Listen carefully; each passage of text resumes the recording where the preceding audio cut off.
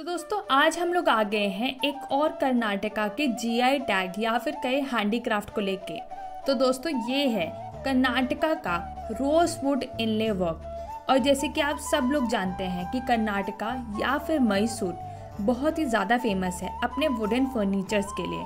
तो चलिए उन्हीं में से आज आपको बताते हैं कि ये रोज वुड इनले वर्क कैसे किया जाता है। ये एक तरह का ऐसा क्राफ्टिंग टेक्निक है जिसमें बहुत ही सुंदर पीस और बहुत सारे मटेरियल्स जैसे कि ivory shell mother of pearl horn और सैंडलवुड जैसे मटेरियल्स को वुड पे कार्व करके उसके डिप्रेशन या कहे कि गहराइयों में बैठाया जाता है। ये यूनिक आर्ट मैसूर के 400 साल से भी ज़्यादा पुराना आर्ट है, जहाँ पर ये युगो युगों से चलता आ रहा है। और राजा महाराजाओं के फर्नीचर्स में भी देखा गया है। राजा जे चामराज वुड़ियर जो कि मैसूर के लास्ट महाराजा या कहे ट्वेंटी फिफ्थ महाराजा थे, उन्हीं की राजकाल के दौरान बहुत सारे आर्टिसंस इस क्राफ्ट को करना जानते थे और सीखते थे। इसमें से कुछ लोग आइवरी इनले भी करते थे, क्योंकि आइवरी और रोजवुड मैसूर में बहुत ज़्यादा पाया जाता था। ये सभी कलाकार अपनी कलाकृति में बहुत ही ज़्यादा सक्षम थे, तभी ये तरह तरह के डिज़ाइन से इंस्पायर्ड होके अपने इनले वर्क करते थे। जैसे कि कभी वो फूल पत्तियों के डिज़ाइन बनाते थे, कभी वो भगवान से प्रेरित होकर डिज़ाइंस बनाते थे, कभी वो लोग जंगली जानवर और या फिर उनके डेली रिचुअल्स को भी इस इनले वर्क में उतारते थे। पहले तो दोस्तों, यहाँ पर इनले वर्क हाथी दांत को यूज़ करके करा जाता था। लेकिन अब क्योंकि हाथी दांत इंडिया में बिकना बैन हो गया है, इस वजह से यहाँ पर अलग अलग कलर के प्लास्टिक या डिफरेंट सब्सिट्यूट्स को यूज़ करके ये पूरा इनले वर्क करा जाता है। इस पूरे डिज़ाइन में सबसे पहले आर्ट पीस को पेपर पे ड्रॉ करा जाता है और उसकी कलर से मापी करी जाती है कि कौन से डिज़ाइन में कौन सा कलर हमें बैठाना होगा।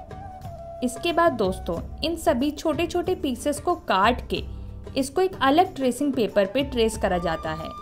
ये छोटे छोटे पीसेस स्टेंसिल की तरह काम करते हैं। और इनको वुड के ऊपर चिपकाया जाता है। और यहाँ पर इनले करने के लिए अलग अलग कलर की लकड़ियों का इस्तेमाल होता है।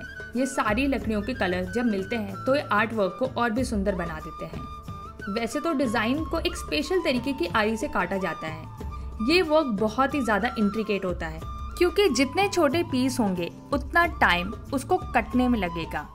यहाँ पर आउटलाइन को धीरे धीरे फॉलो करके इन सभी डिज़ाइन को काटा जाता है। और कटिंग होने के बाद ये सभी कलर के वुड पीसेस को अरेंज करा जाता है। पहली वाली ड्राइंग को देख के ही। और इन सबको ग्लू की मदद से चिपका दिया जाता है। ये सारा का सारा काम काफ़ी टाइम टेकिंग होता है। तभी यहाँ पर धीरे धीरे करके अलग अलग पीसों को ज्वाइन करते जाते हैं। ये एक तरह का पजल गेम टाइप का है, जिसके बाद ये पूरा कंपोजिशन बन के तैयार होता है। इस ग्लू के पीस को मैनुअली प्रेसिंग मशीन में डाला जाता है, ताकि सारे के सारे वुड पीस एक लेवल में आ जाए। और मैनुअली प्रेसिंग करने के बाद दोस्तों, ये सारे के सारे वुडन इनले अच्छे तरीके से कार्व्ड रोजवुड के अंदर जाके बैठ चुके हैं। साथ ही ये छोटे मोटे गैप्स को फिल करने के लिए यहाँ पे बी वैक्स का इस्तेमाल हो रहा है और लेवलिंग करने के लिए हैंड ग्राइंडर का इस्तेमाल करा जा रहा है। यहाँ पे पिघली हुई वैक्स और चारकोल की मदद से पूरे आर्ट वर्क को साफ़ करा जाता है, ताकि अगर थोड़ा बहुत भी स्क्रैच अगर रोज वुड पे लगा हो तो वो भी भर जाए। इसके साथ साथ यहाँ पर छोटे छोटे गैप्स को वैक्स से दोबारा भरा जाता है और पूरे सरफेस को क्लीन करा जाता है।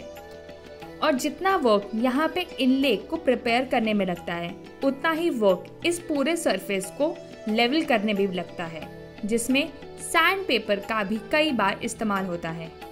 फाइनली ये पूरा लेवल हो जाने के बाद यहाँ पर एक और कोटिंग चढ़ाई जाती है, जिसको फाइनल पॉलिशिंग कहते हैं, जिससे इस पूरे आर्ट वर्क में स्मूथनेस और शाइनेस दोनों आ जाए।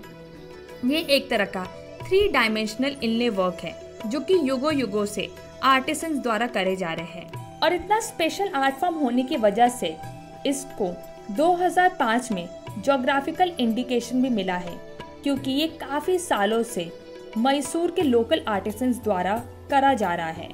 तभी यहाँ पर घर घर में रोसवुड इनले का काम होता है और यहाँ के आर्टिसंस पूरे वर्ल्ड ओन है, जहाँ पर रोसवुड इनले का काम देश और विदेश तक पहुँचता है। इससे कई सारी चीज़ें बनाई जाती हैं, जैसे कि furnitures art work frames paintings तो दोस्तों, आपको हमारा ये ब्लॉग रोजवुड इलने पे कैसा लगा, हमें कमेंट करके ज़रूर बताइए। तो ऐसे ही हमारे इस हैंडलूम एंड हैंडीक्राफ्ट सीरीज़ के साथ बने रहिए। और जल्द ही हम लोग आएँगे इस रिच इंडिया के एक और आर्ट फॉर्म को आपके सामने लेके। तब तक बाय एंड बी सेफ़